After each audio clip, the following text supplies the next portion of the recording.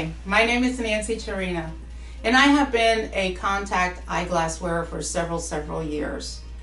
Uh, due to my high astigmatism, I was not a candidate for regular LASIK surgery until I met Dr. Gulani.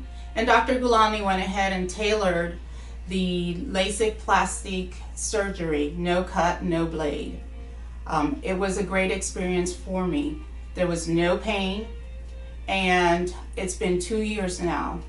I have not experienced any of the normal side effects that you would have with LASIK surgery. Um, no dry eye, no halo. Um, it's been a wonderful, wonderful experience, and I still have 20/20 vision. And so I would um, thank Dr. Gulani for uh, doing this for me.